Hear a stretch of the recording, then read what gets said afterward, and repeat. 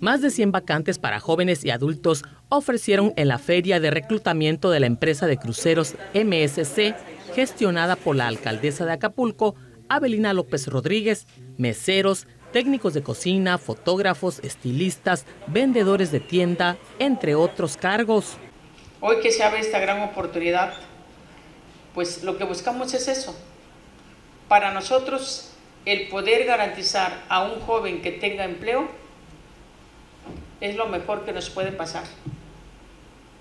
Porque en ustedes está el presente, el futuro y el mañana de esta ciudad. Yo agradezco, eh, Vicky, esa distinción que nos da para esta eh, convocatoria, esta gran oportunidad que tenemos para nuestros jóvenes. En conferencia de prensa, la presidenta dio a conocer que esta es la segunda feria de empleos que se lleva a cabo con navieras, la primera con esta empresa ya que el año pasado fue con la línea de cruceros Carnival.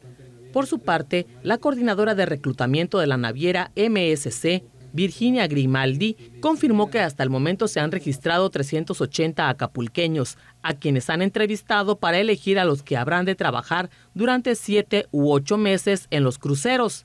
Sí, nosotros estamos buscando profesionales de la industria hotelera, antes que todos profesionales que sepan cómo atender nuestros huéspedes y que dejen que nuestros huéspedes se vayan contentos y que regresen a bordo de MSC Cruceros. Pero ustedes han visto que hay una característica muy común a toda la gente que ha sido filmada en este video, que es la actitud. Es decir, una profesión se puede enseñar, tener actitud para ser un buen tripulante la tienen que tener ustedes.